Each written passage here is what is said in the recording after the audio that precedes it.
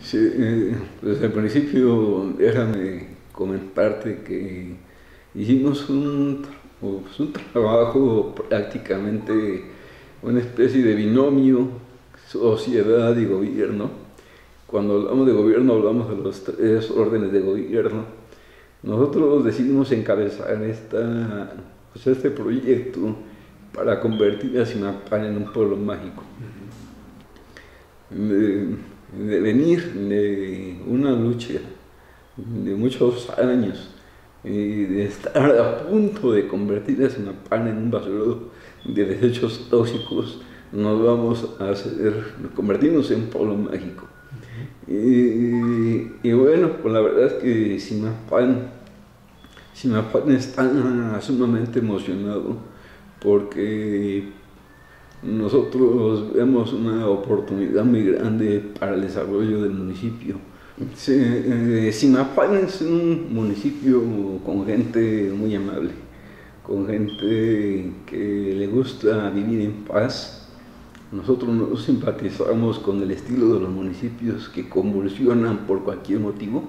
Eh, tuvimos una participación de cientos de familias Estamos hablando de artesanos, restaurantes, hoteleros, gente que presta servicios, eh, guías de, turismo, eh, gente que se dedica a hacer recorridos en lanchas, que nos ha ido a organizar eventos que le llaman rodadas de bicicletas, eh, con clubes de jeeps, con clubes de gente que está en el deporte extremo, deporte de aventura y finalmente logramos integrar entre todo un paquete en un solo municipio. Estamos coexistiendo minería, turismo. Necesitábamos solamente darles empujón, armar bien el proyecto y sobre todo tener la insistencia de por qué Simapán tenía que ser un pueblo mágico. El dinero que se le mete a Simapán, prometemos regresarlo con impuestos, prometemos regresarlo con eh, devolverlo con creces, porque sabemos que toda inversión que le llegue al municipio se va a convertir en eso, inversión, no gasto. Eh, eh, bueno, yo te diría que en materia de servicios Simapán ha mejorado mucho.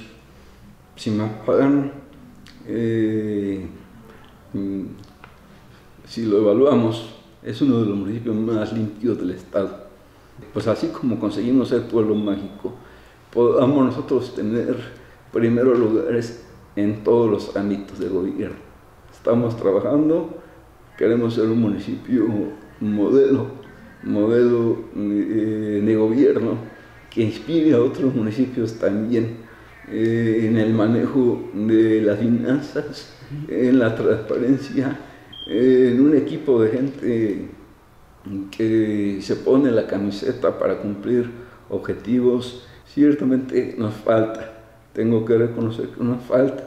Llevo apenas dos años y estamos tocando puertas y esperemos que con esta denominación de pueblo mágico el municipio valore que es una palanca que constituye eh, la mayor oportunidad para el desarrollo en lo general, no solamente en lo económico, también en lo social.